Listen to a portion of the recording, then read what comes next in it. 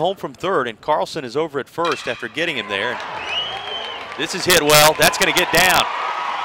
It'll be cut off on the warning track. One run comes home, and two more in scoring. Trying to put a serious dent into it again in 19 and do it right away here. And this will help.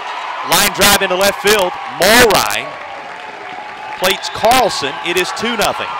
Drive home, 342 in that category. Tried to raise that here, and here's a double play. That'll shut down the inning.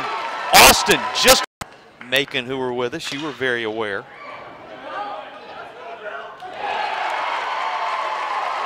Not going to be able to do it here, but he did clear him yes.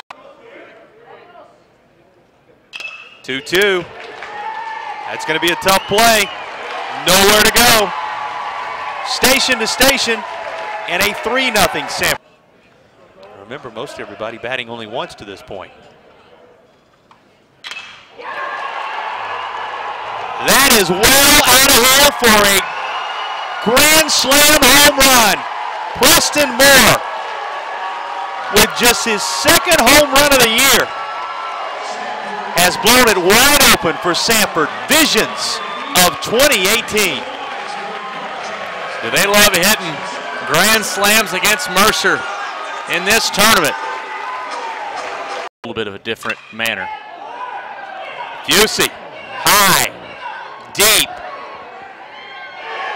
reaching up at the wall with nothing to bring back his Johnson, and here's Fusey rounding the bases, having just secured his 15th home run of the year.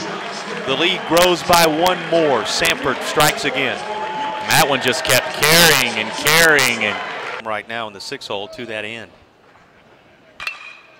Fusey already with one home run in the fourth inning. He's making a bid for another to the deepest part of the yard. That's off the top of the batter's eye.